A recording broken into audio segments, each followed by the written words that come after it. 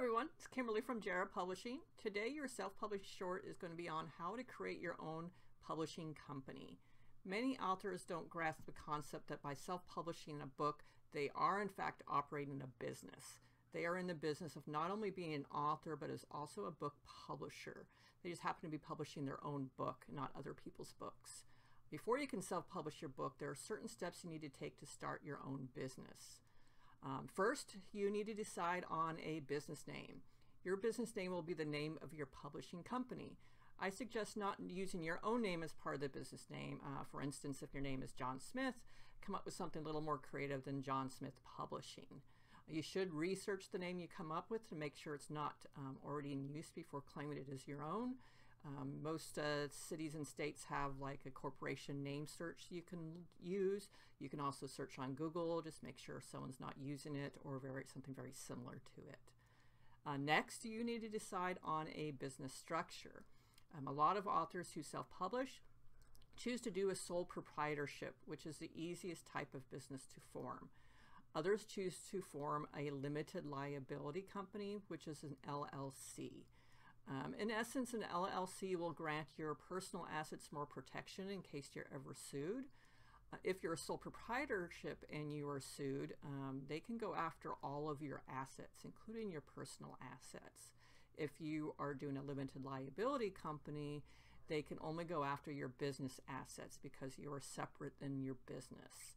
If you want to decide what structure is best for you and you're not sure, you can talk with an accountant or a CPA to go over your unique situation to figure out which is the best form.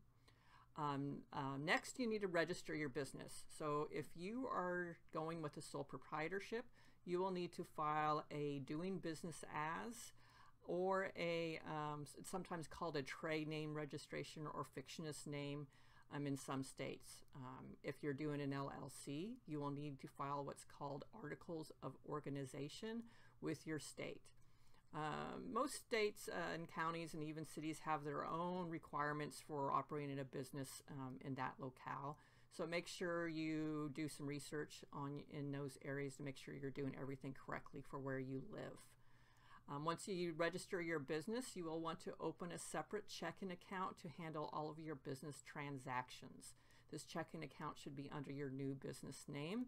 You will want to bring in your certification for the business when you go to open it at the bank, such as you're doing business ad registration or your articles of organization.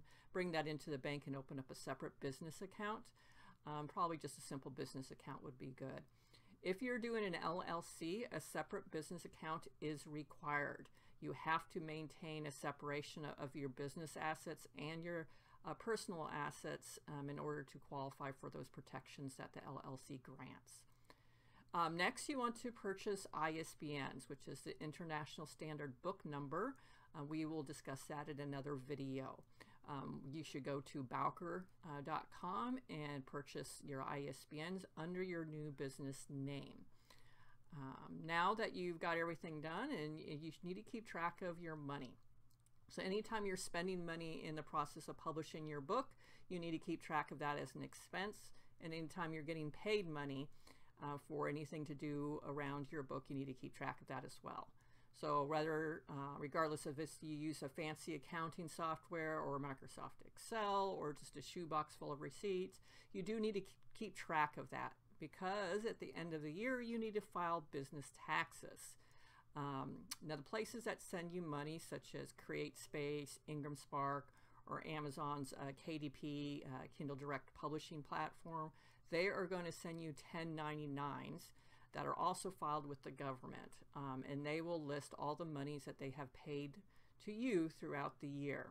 And you need to report those plus any other income that you may have received that wasn't reported on a 1099 and all of your expenses on your taxes. Uh, most places, uh, I mean, most businesses that are sole proprietorship or LLC uh, will file this information on what is called a Schedule C that you file along with your personal tax forms. So those are the seven steps to uh, creating your own business for self-publishing.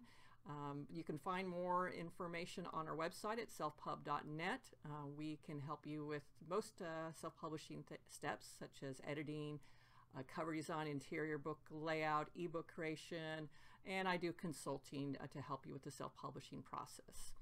So keep uh, keep your eye out for more self-publishing shorts coming your way, and uh, thank you.